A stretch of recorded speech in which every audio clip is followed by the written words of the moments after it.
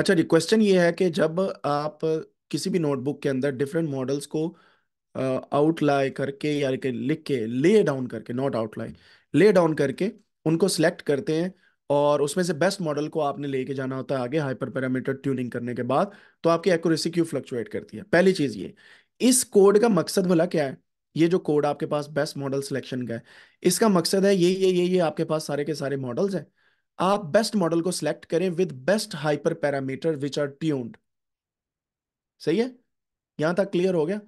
अब आपने आगे क्या करना है? आगे आपने वो best model with those hyperparameter tuned आपने दोबारा से ट्रेन करना है। ये सिर्फ़ सिलेक्शन के लिए है। सिलेक्ट हो गया आपका मॉडल वहाँ पे उसका काम खत्म हो गया। Then you have to train your model based on those best models parameter ठीक है? फिर वो एक्यूरेसी उतनी ही रहेगी जितनी आपकी स्टार्ट में आई है। सही है? अब होता क्या है? यहाँ पे ये जितने भी आपने मॉडल यहाँ पे रन किए हैं फॉर लूप के साथ, यहाँ पे ना तो आपके सारे के सारे पैरामीटर सेम रह रहे हैं, ठीक है? सेकेंडली क्या हो रहा है? आपका जो डेटा है वो डिफरेंट तरीके से आपके सामने आ रहा है, यानी कि क्रॉस वैलिडेशन एक्यूरेसी आपके सामने आ रही है। सही है?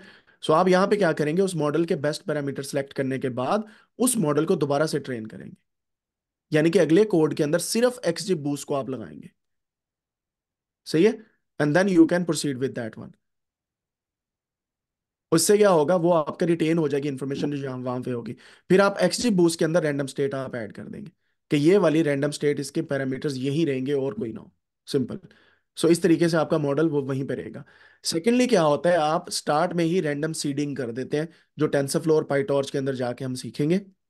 कि बिल्कुल स्टार्ट में ना आप रैंडम सीडिंग करके बता देते हैं कि हमारी रैंडम सीडिंग जो है वो 42 पे या 124 पे है।